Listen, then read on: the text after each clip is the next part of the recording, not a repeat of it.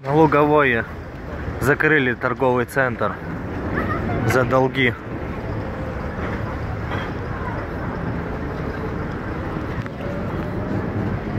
Ходишь. Все думают, что это шутка.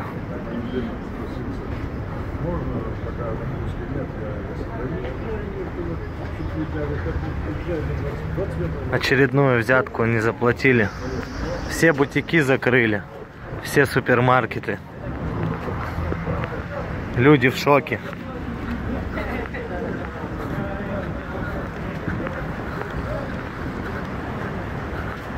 Все работать не будет больше. Рэми тоже закрыли. Дилан закрыли. Все закрыли. Опечатали все здание.